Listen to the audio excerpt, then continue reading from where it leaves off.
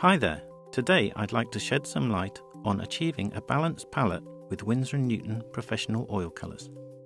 I've placed six co-primaries in a circle to show the colours in context. Rather than using temperatures to differentiate between them, I'm going to use secondary hue bias instead. Starting with the yellows, you can see the Winsor Lemon has a green bias, whereas Cadmium Yellow has an orange bias, as does Cadmium Red. Here, the Alizarin Crimson has a violet bias, and so does the French Ultramarine Blue. Finally, Winsor Blue has a green bias, which leads us back to Winsor Lemon.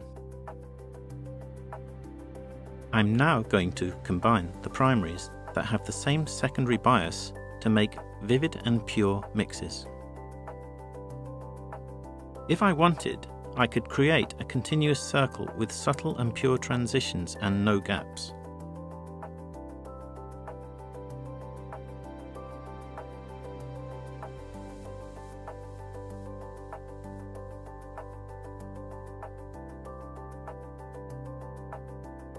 I'm just going to add some titanium white to this violet in order to bring out the colour for you.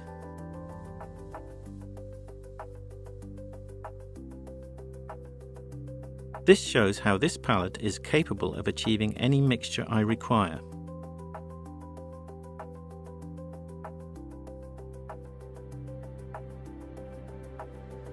The circle shows how the primaries and secondaries relate to each other Those opposite each other are called complementaries.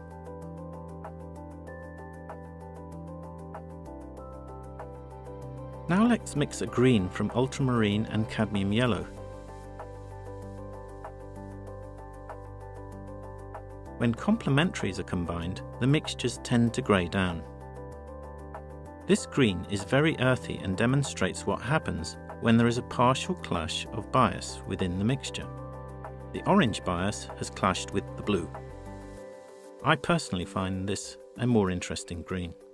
So being aware of secondary hue bias allows you to exploit or avoid these clashes. I hope you've found this useful.